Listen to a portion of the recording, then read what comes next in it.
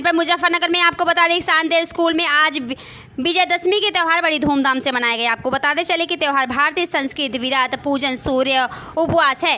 व्यक्ति और समाज के द्वारा ही आपको बता दें, विधिधाता प्रकट हो गई हैं और आपको वही तस्वीरें में दिखा जरा आप देख सकते हैं, इसलिए दशहरे का उत्सव मनाया गया है। इस अवसर पर आपको बता दें कि कक्षा आठ के छात्र छात्राओं ने ही रामायण पत्र राम अभियान में कक्षा आठ के जय धर्व रामायण की भूमिका अच्छी चौधरी लक्ष्मण की भूमिका में गए आपको बता दें सीता की भूमिका मनमोहित दर्शित किया है।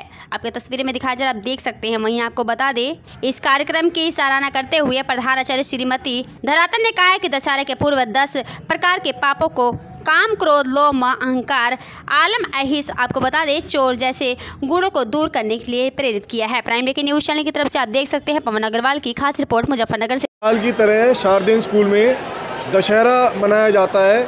चूँकि बच्चों की छुट्टियाँ हो जाती हैं तो आज आखिरी वर्किंग डे है दशहरे से पहले। तो आज ही हमारे यहाँ रामलीला मंचन किया और रावण की जो एक पुतला है, उसको जलाया गया, बुराई के प्रतीक को जलाया गया और क्लास एट्थ के बच्चे हर साल हमारे यहाँ रामलीला का मंचन करते हैं। छोटे छोटे रूप में पूरी रामायण का एक अर्थ निकाल के बच्चों को बताया जाता है बच्चों ने बहुत एंजॉय किया। पटाखे भी फूटे और बच्चे अपने कान पे हाथ भी रखे, लेकिन बहुत एंजॉय भी करे और बहुत सुंदर मंचन रहा। क्लास एट के बच्चों का बहुत बहुत शुक्रिया। खास तौर से हमारे जो रावण बने थे बच्चे ने, उसे बहुत अच्छा रोल किया। ब्रेकिंग न्यूज़ चैनल को सब्सक्राइब करना ना भूलें और साथ ही डेली अपडेट्स पाने के लिए बेल आइकन को